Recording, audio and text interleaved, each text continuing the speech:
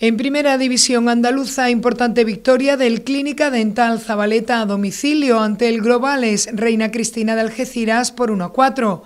Algunos de los jugadores palaciegos estuvieron enfermos los días previos, por lo que hubo dudas de si se podía presentar un equipo con garantías. Al final, a pesar de no poder contar con el mejor equipo posible, se ganó con rotundidad.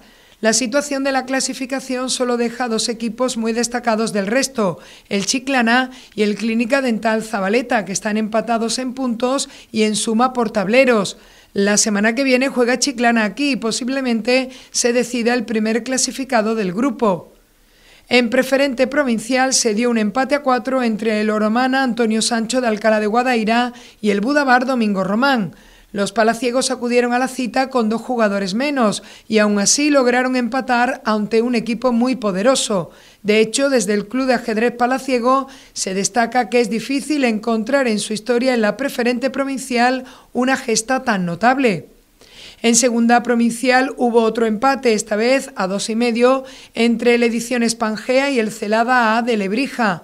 Un gran resultado ante un equipo candidato a subir a primera que se debió más que nada al interés mutuo de ambos equipos de asegurarse el quedar entre los cuatro primeros para jugar la segunda fase en el grupo de ascenso.